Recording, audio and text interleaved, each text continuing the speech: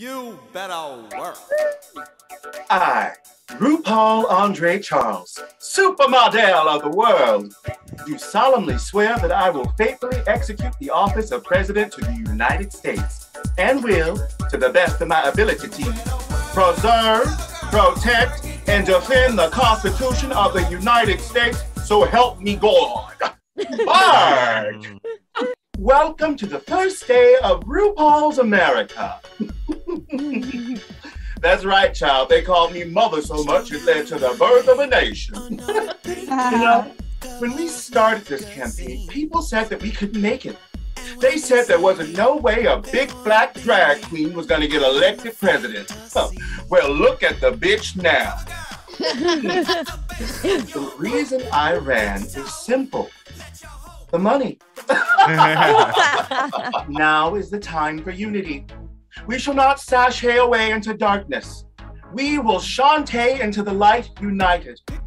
Democrats and Republicans, libertarians and socialists, pageant queens and camp queens to heal this busted nation. Everybody say love.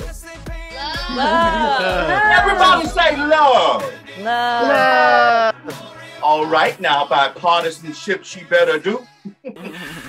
Category is my guiding principles.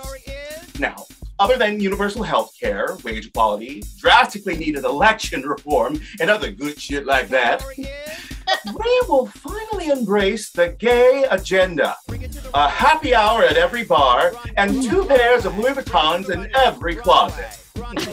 The Honorable Judy Sheindlin will be appointed to the Supreme Court because only Judy can judge me. Every child will learn to read, and I do mean in a shady way, because reading is what?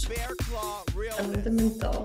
Fundamental, and I think you know that. The White House will be receiving a pop of color because why gotta be white? Our most important work is here.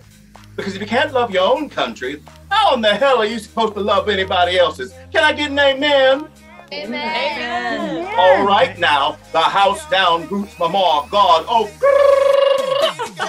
God, God bless you, and God, God bless the United States of America.